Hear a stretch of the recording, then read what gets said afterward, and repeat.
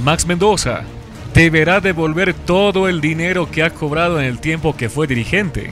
Es lo que está pidiendo el vicerrectorado de la Universidad Autónoma Gabriel René Moreno en Santa Cruz.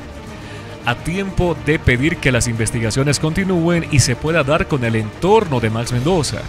¿Quiénes son los directivos de la CEU que han emitido esas boletas de pago y han otorgado un salario al dirigente de más de 52 años de edad?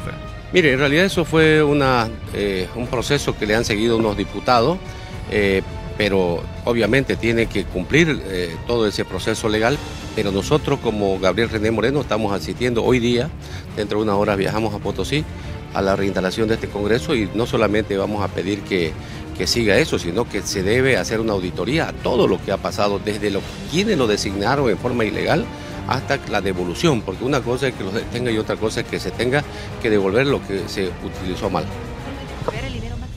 Pero obviamente cualquier persona que hace mal uso de las cosas y si está fuera de la norma, no solamente debe ser sancionado con la detención, debe, eso debería ser el objetivo fundamental, que las personas eh, devuelvan el daño que han causado y si ha habido daño, pues tienen que devolver. Lo más llamativo de la denuncia tiene que ver con la petición de la universidad para que se devuelva este dinero al Estado dinero que habría sido cobrado de forma irregular porque Max Mendoza no podía pertenecer al presidium universitario, ya que solamente es un estudiante de segundo semestre.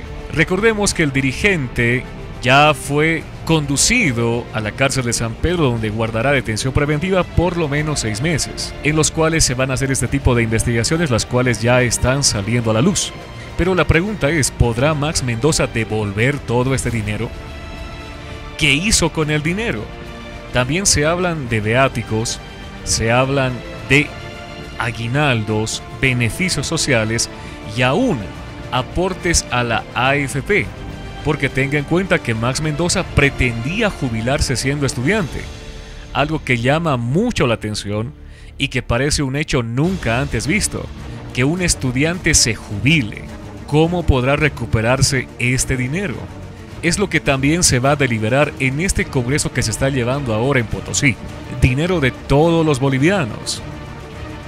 Dinero del Estado, el cual ha sido mal habido por esos dirigentes. ¿Qué opina usted al respecto? ¿Cómo se podría recuperar este dinero? Queremos conocer su opinión.